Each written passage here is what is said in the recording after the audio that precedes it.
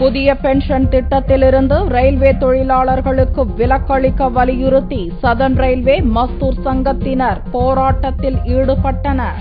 பார்லிமெண்டில் தாக்கல் செய்யப்பட்டுள்ள புதிய பென்ஷன் மசோதாவிலிருந்து ரயில்வே தொழிலாளர்களுக்கு விலக்கு ஏழாவது சம்பள கமிஷன் விருப்ப ஓய்வூதியதாரர்களின் வாரிசுகளுக்கு வேலை என்பன உள்ளிட்ட பல்வேறு கோரிக்கைகளை வலியுறுத்தி புதனன்று சென்னை சதன் ரயில்வே மேலாளர் அலுவலகம் முன்பு சதன் ரயில்வே மஸ்தூர் சங்கத்தினர் ஆர்ப்பாட்டம் நடத்தினர். இருபத்தி நாலு மணி நேரம் வேலை செய்கின்ற இந்த ரயில்வே சகோதரிகளுக்கு ராணுவத்தில் எப்படி அந்த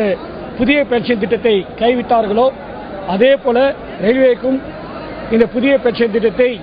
அவர்கள் அமுல்படுத்தக்கூடாது என்ற கோரிக்கையையும் ராணுவத்தில் இருப்பவர்கள் நாட்டிற்காக உயிர் தியாகம் செய்வது போல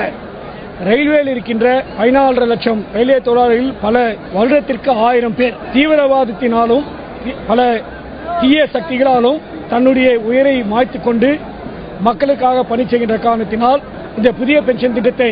அமுல்படுத்தக்கூடாது என்ற கோரிக்கையை நாங்கள் வைத்திருக்கிறோம் தங்கள் கோரிக்கைக்கு மத்திய அரசு செவிசாய்க்கவில்லை என்றால் அடுத்த கட்டமாக தொடர் வேலை நிறுத்தத்தில் ஈடுபட உள்ளதாக போராட்டக்காரர்கள் தெரிவித்தனர்.